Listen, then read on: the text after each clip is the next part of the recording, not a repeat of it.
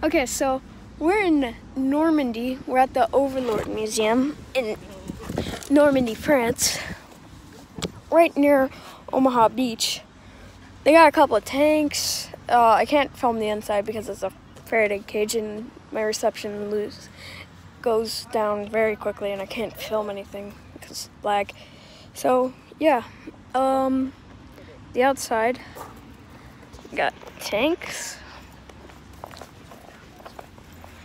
They got a, that's an M4 Sherman. Don't know what this thing is. Forget. Um, yeah, um,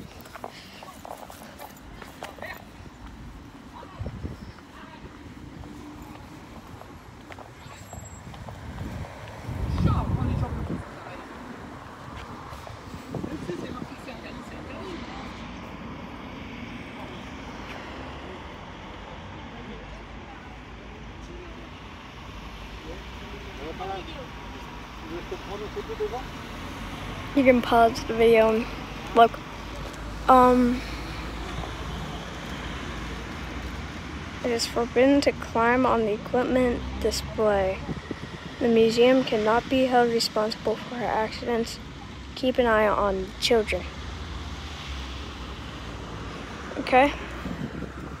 That's an M4 Sherman over there that every, everyone is uh, fanboying over. But uh, there's a tank that they recovered from uh, from the beach of Omaha. Because literally about a click away from here there's some water. So yeah we're heading to a armor surplus store later. Um this is appears to be a self-propelled gun. The best, not the best, the best example of really what I can think other than self-propelled gun is just artillery with tracks.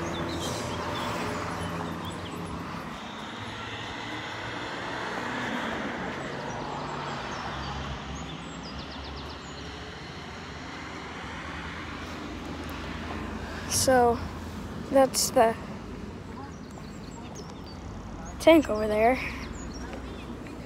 There's some uh, stuff right here. I have no idea what it is. Oh wait, no. Those things were used to stop the, those things over there was used to stop the, the Allied advance. So were these things. But on the Omaha and or Utah. Just gonna walk on through here. This thing was recovered somewhere. Do not know. Yeah. It's basically really it. They have I honestly recommend this place because they got got a tiger, a panther, a couple other things. And they got an M4 Sherman as well. They have two M4 Shermans. I think the one that you guys saw was the modified version. But, um, here's Didi and Victor.